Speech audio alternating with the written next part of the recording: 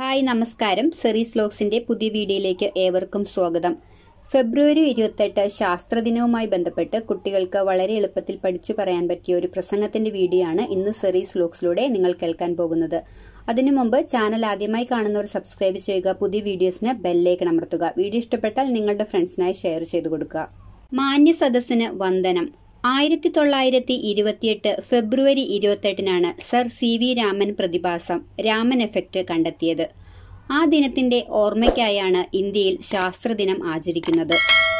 ഇരുപതാം നൂറ്റാണ്ടിലെ ലോക പ്രശസ്തരായ ശാസ്ത്രജ്ഞന്മാരിൽ പ്രമുഖനാണ് ചന്ദ്രശേഖര വെങ്കിട്ടരാമൻ അഥവാ സി വി രാമൻ.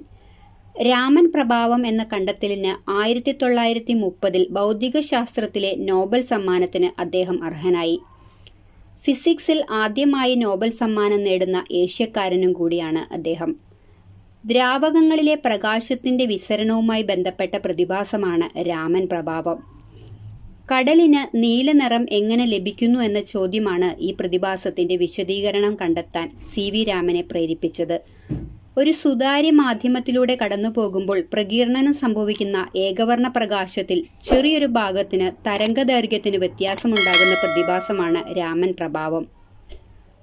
എല്ലാവർക്കും ശാസ്ത്രദിന ആശംസകൾ. അടുത്തൊരു വീഡിയോയുമായി കാണാം. Thank you by